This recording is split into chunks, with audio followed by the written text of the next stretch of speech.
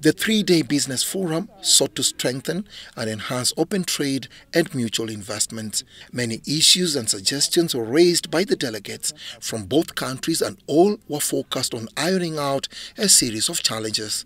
This is why we are urging the government of South Sudan, other than complete and total denials, let them put investigative um, people in the meetings as they happen, even here.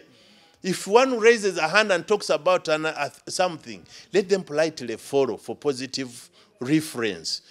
So now we have come to see that we sign up certain papers in agreement of ironing out those bottlenecks, uh, insecurities, mistrust, quality of things that we supply, uh, clear marketing, and clear buy and sell.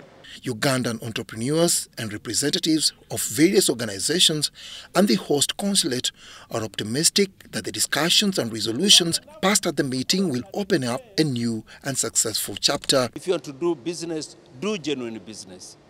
So we're saying there should be a lot of uh, collaboration between the UNBS of, uh, of Uganda and South Sudan uh, National Bureau of Standards so that uh, in terms of the standards and also the revenue authorities to be very strict on the certificate of origin. Most of the Ugandans who came here to do business are venturers and technocrat people like engineers and something like that. But businessmen, people as I saw, I see here, but for Dr. Julian Adiri Omala, whose business valued at about 3.5 billion Ugandan shillings that has stalled for five years in South Sudan, she wants her issues urgently and amicably resolved. Uh, I'm among the first pioneers in Uganda who came to Southern Sudan. I was the second landowner in Southern Sudan. I built a bakery and we are doing business wonderful business and transforming the women. It's unfortunate that a soldier from National Security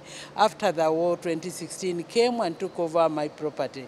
I've come back, one, to claim back that property and secondly, to do better business again. You know, to us as entrepreneurs, no matter how many times you fall down, but what matters, can you raise up again?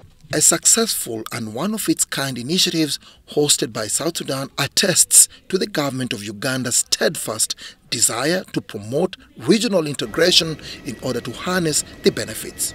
The three-day conference is wrapped up with a commitment from both parties to continue engaging in order to iron out the existing differences and foster the attainment of the intended goals. Dennis Igoa in South Sudan capital, Juba.